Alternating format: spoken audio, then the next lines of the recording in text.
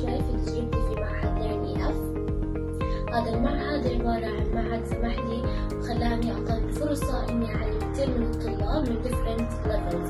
We have levels where the students join that they cannot speak English. We have students that come that can speak English but not proper English.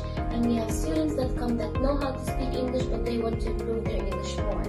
في هذا المعهد الفكرة الأساسية تطوير اللغة الإنجليزية من من خلال القراءة من خلال الجرامر as well as من خلال المحادثة. There are different levels, uh, there are different uh, styles of teaching.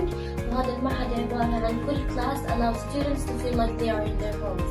Okay? الحصص ما بتكون حصص زي الحصص العادية اللي بتتحول ل إحنا أسرة في هذه المحاضرة وفي خلال هاي المحاضرة بنتعرف مع بعض بنبني أسرة صغيرة